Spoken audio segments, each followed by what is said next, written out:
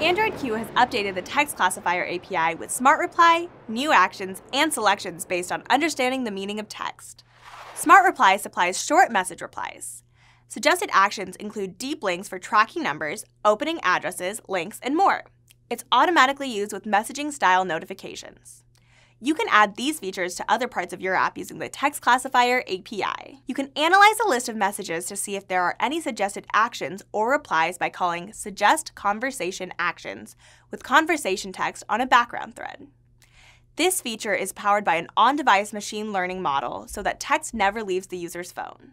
Now, if users select text, they can get definitions and translations using Smart Selection because of the new Define and Translate actions. Users can retrieve a definition by highlighting the word and selecting the Define option. Similarly, users can translate foreign text by selecting the text and then choosing Translate.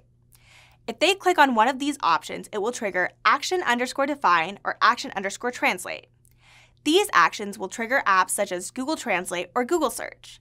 If your app is a dictionary app or a translation app and you want it to show up in the toolbar, you'll need to make a couple of changes to your app's manifest. First, add an intent filter for android.intent.action.translate or android.intent.action.define.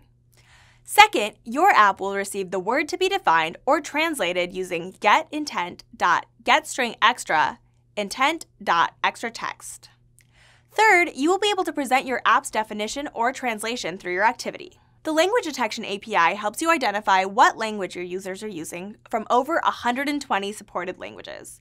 It also uses an on-device model. To use this feature, pass a request on a background thread to the API, including the foreign text, and the response will contain the corresponding language. Using conversational suggestion and smart selection can make your app more intuitive and helpful. Check out the documentation in the video description to see how to add them to your app. Make sure you subscribe to the Android Developers channel for more informative and fun Android videos. Happy coding!